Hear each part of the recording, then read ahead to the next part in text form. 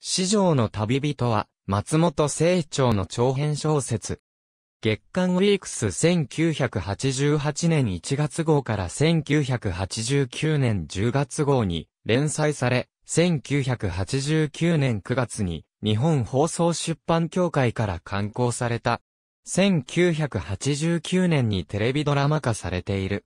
レボードプロバンス周辺南仏プロバンス地方を舞台に、画壇の作望に橋を発する愛と復讐の工作を描くサスペンスロマン。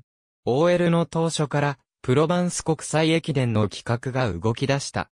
和江新聞社の木村忍は、南フランスへ飛び、世界の陸上競技の利権を支配する、バローナ会長との交渉によって、企画を有利に進めようとする。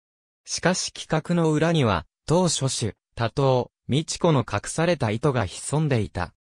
視察、交渉で、木村の行く先、朝霧のカマルグでは足を折る。幻想的な人影に遭遇し、X1 プロバンスの丘にそびえる領主の館、星の館は、すでに黒い怨念が渦巻く場所となっていた。小説のモチーフの一つ、カミーユ・クローデル1989年10月9日から11月6日まで NHK のドラマ10枠にて全5回の連続ドラマとして放映。53日間にわたるフランスロケを実施した作品。原作と異なるラストを設定している。以下、括弧内は、出演話数。ありがとうございます。